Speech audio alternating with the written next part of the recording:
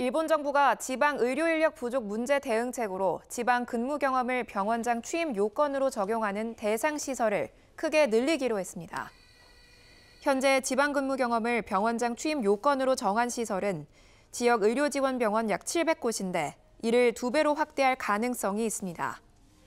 전체 국공립과 공적병원의 병원장 취임 요건으로 지방 근무 경험을 전공하면 약 1,500곳으로 늘어나며 병상수 등을 기준으로 대상을 더 늘릴 수도 있습니다.